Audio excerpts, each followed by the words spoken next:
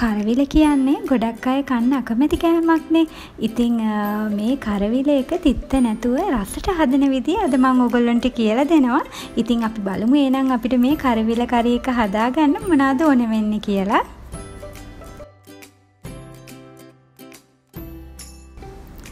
මං අරන් තියෙනවා කරවිල ග්‍රෑම් දෙසිය පණහක් ඉතින් මේ කරවිල එක හොඳට හෝදලා දික් අතට තීරු විදිහට කපලා අරන් තියෙනවා. කරපිංච අරන් තියෙනවා ඉති දෙකක් විතර. ලූණු ගෙඩියක් තක්කාලි ලොකු ගෙඩියක් කපලා අරන් තියෙනවා හීනියට. අවු මිරිස් කරල් දෙකක්.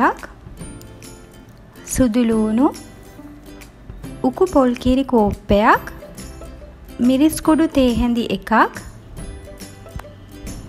කෑලි මිරිස්කුඩු තේහැඳි එකමාරක් කහකුඩු තේහැඳි කාලක් අමු තුනපහකුඩු තේහැන්දක් උළුහල් තේහැඳි කාලක් උම්බලකඩ තේහැඳි දෙකක් රස අනුව ලුණු පොල්තෙල් මේ සැහැඳි දෙකක්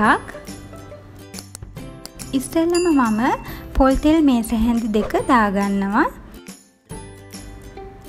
පොල් තෙල් ටික රත් වුණාම මම ඒකට හීනියට කපාගත්ත ලූණු ගෙඩියක් දාගන්නවා.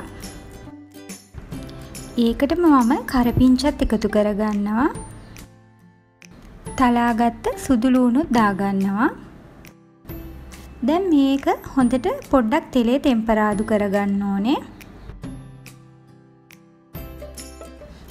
මේ විදිහට පොඩ්ඩක් ලූණුවල පාට වෙනස් වුණාට පස්සේ මං ඒකට උළුහල් එකතු කරගන්නවා. මිරිස් කුඩුත් එකතු කරගන්නවා. මේ විදිහට මිරිස් කුඩු ටිකක් දාලා හොඳට තව ටිකක් හැඳිගා ගන්නවා. ඉතින් මෙහෙම කරාම මිරිස් කුඩු එකේ සැරගතිය අඩු වෙනවා.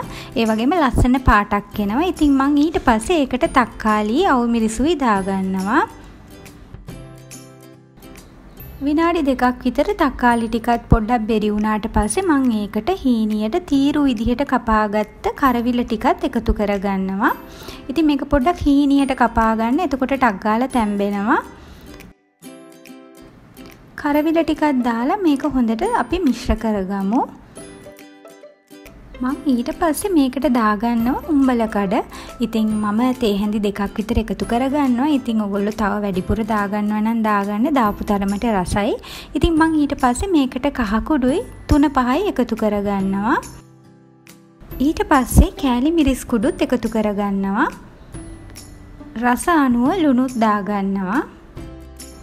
දැන් මේ ඔක්කොම තුන පහ දාලා අපි මේක තව ටිකක් හොඳට තෙලෙන්ම තැම්බෙන්න අරිනවා. ඉතින් ලිපේ ගින්දර මධ්‍යම ප්‍රමාණයෙන් තියාගන්න තියාගෙන මේක හොඳට තෙලේ පොඩ්ඩක් වෙලා හොඳට තෙම්පරාදු වෙන්න අරින්න.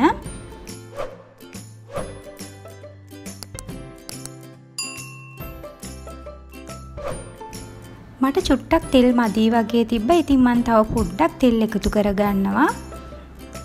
විනාඩි දෙක තුනක් විතර මේ විදිහට අපි ඕක තෙලෙන්ම තැම්බෙන්න අරිනවා. දැන් මම මේකට පොල් වතුර කෝප්ප භාගයක් එකතු කරගන්නවා. මේක තමයි මේ කරවිල ව්‍යාංජනයේ තියෙන විශේෂත්වය. ඉතින් මම මේ පොල් වතුර එකතු කරගන්නේ. ඉතින් මේ විදිහට පොල් වතුර දාලා හදලා බලන්න කරවිල එක හරිම රහයි. ඉතින් මගේ ආච්චි මේ විදිහට තමයි මේ කරවිල එක හදන්නේ. හරිම රහයි.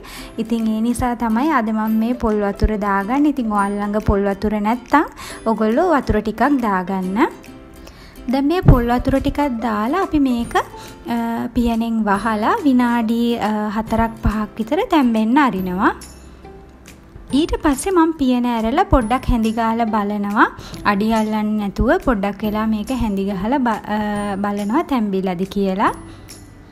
දැන් මේක ගොඩක් දුරට තැම්බිලා තියෙන්නේ. දැන් මම මේ වෙලාවේදී මේකට හොඳ උකු පොල් කිරි කෝප්පයක් එකතු කරගන්නවා. පොල් කිරි ටිකක් දාලා හොඳට මිශ්‍ර කරලා මම දැන් මේක තව ටිකක් තැම්බෙන්න අරිනවා. ඉතින් වෙනද වගේම රෙසිපියට අදාළ ද්‍රව්‍යයන් මම පල්ලෙහා ඩිස්ක්‍රිප්ෂන් බොක්ස් එකේ දාලා තියෙනවා. ඉතින් ඕන කෙනෙක් ඉන්නවා නම් ගිහිල්ලා බලන්න. දැන් මම පියනෙන් වහලා තව ටිකක් මේක පොල් කිරි ටික හොඳට උතුරනකම් තැම්බෙන්න අරිනවා.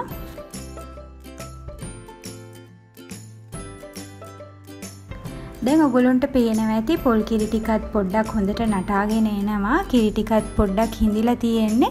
ඉතින් මේ විදිහට මම පොඩ්ඩක් තව ටිකක් මේක හැඳි ගහලා බලනවා. ඉතින් මේ වෙලාවේදී ලුණු එහෙම ඇතිනම් ඔයගොල්ලෝ බලලා ලුණුත් මදි නම් දාගන්න. දැන් මම ලිපේ ගින්දර හොඳටම අඩු වෙන්න තියලා පියනෙන් වහලා මේක තවත් විනාඩි 4ක් 5ක් විතර අඩු ගින්දරේ මේක එහෙමම තියනවා තව ටිකක් හොඳට හිඳෙන්න.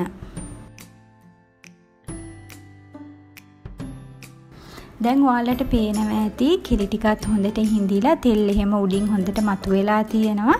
ඉතින් මේක සාමාන්‍යයෙන් හොදි නැතුව මේ විදිහට හොඳට පොල් කිරින් හිඳලා තමයි හදන්නේ. ඉතින් මෙහෙම හැදුවාම හරීම රසයි තිත්ත තේරෙන්නෙත් නැහැ. ඉතින් කරිවිල කියන්නේ ගොඩක් ಗುಣ කෑමක්නේ. ඉතින් ඔයගොල්ලෝ මේ විදිහට මේක හදලා try කරලා බලන්න. ඉතින් මගේ channel එක subscribe කරන්න, ඒ වගේම comment කරන්න, යාළුවොත් එක්ක share කරන්නත් අමතක කරන්න එපා. ඉතින් එහෙනම් තවත් රසම රස රෙසිපියක් එක්ක හමුවෙමු. සුබ දවසක් ඔයාලා හැමෝටම.